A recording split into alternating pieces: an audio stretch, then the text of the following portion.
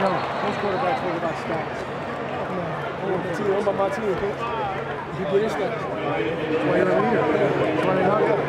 I love him too. That's why they. That's why. That's why they love you. Yeah, yeah, yeah. That's why I love you too. You already know, baby. I love. I love the way you play too. Appreciate that. You just don't flinch. You just attack.